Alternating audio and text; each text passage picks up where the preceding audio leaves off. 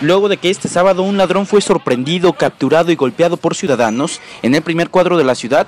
Son los propios ciudadanos los que no están de acuerdo en que el linchamiento y la justicia por propia mano sea lo mejor para solucionar los problemas de inseguridad.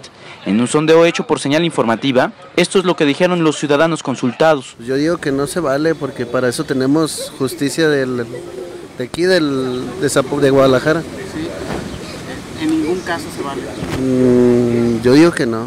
Mejor entregarlo a la justicia y ya que ellos se encarguen. Pues por impotencia, pero no se vale. Tendrían que seguir los procedimientos para, pues para que los detengan, si es posible. Esta no es la primera ocasión en que un supuesto ladrón es capturado y agredido por quienes fueran las víctimas. Sin embargo, ante la falta de patrullaje y elementos de seguridad en la zona, las personas han tomado estas actitudes para tratar de ocasionar una justicia por propia mano.